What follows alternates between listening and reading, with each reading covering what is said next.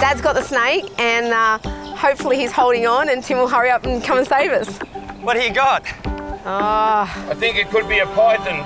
Oh, spot on. I know right away this is not going to be easy. I can't tell whether his head is hooked around something or if he's just wedging his body in that pipe. Either way, he's not moving. I'm struggling. I'm in full sun. I'm going to call in reinforcements. The last thing I want is for this snake to slip, and he's gone. I can't get him then, or it's going to be a lot harder. I'm calling Billy. Give you a bit of a spray. Good. I'm guessing that this fella's going to be two metres over. Okay, he's moving. Look how big he is, kids. And there he is. Have a look at him. Do you think he was that big? Yeah. Can you think of a name for him? What about Peter the Python? Peter the Python. Okay, Peter the Python it is. Let's go and let him go.